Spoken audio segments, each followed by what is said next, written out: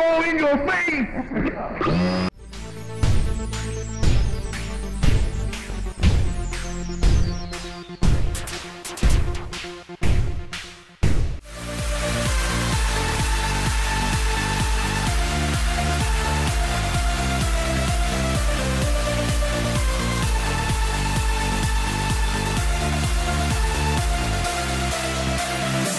We've got our four bar structure.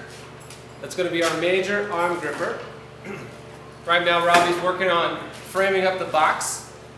We've got Modulux tubes running here so we can have a little bit of adjustability in the front. So if we want to be able to tilt the box back, um, we can just adjust these blocks down and we get a kind of cool or unique range of motion for the front panel. Uh, we've got this big mounting plate, which we're thinking about mounting the finger of doom or whatever we're calling this mechanism. It's a universal box picker upper.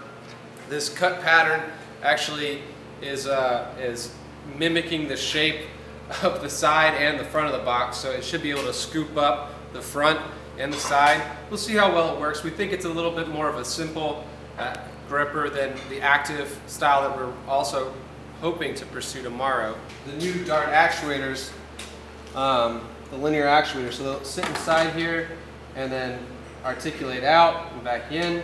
I mean, we're really excited about it. Um, I can't do this without laughing.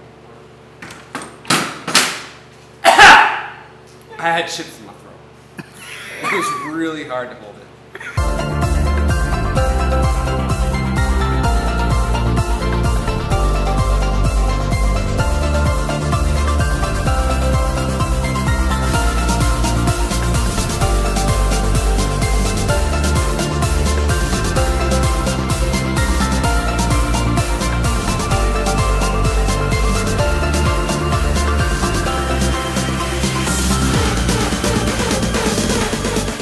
So we've now mounted our linear actuators. We've got our clevis mounts and our top clevis mounts with a series of holes so we can adjust the range of motion.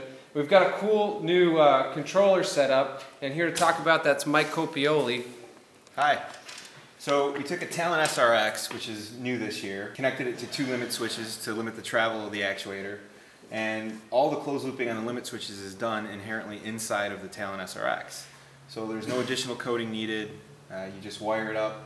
It defaults to the normally open position, um, and it handles it for you. Basically, right now, if you look at the LED pattern, it's strobing from left to right. The last one that illum illuminates indicates the direction, so it's pointing to the positive lead, meaning in the forward direction it's limited.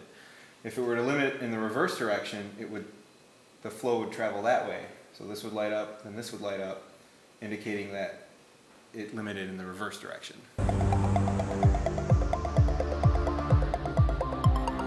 Got to get our other mount, our actuator mounted and wired up. We've got to get our gripper on the front, start playing with that, and we need to get our tote alignment mechanism, the, the wheeled, powered wheeled mechanism onto the front somehow so that we can corral these totes into our gripper, lift them up, and prepare our stacks.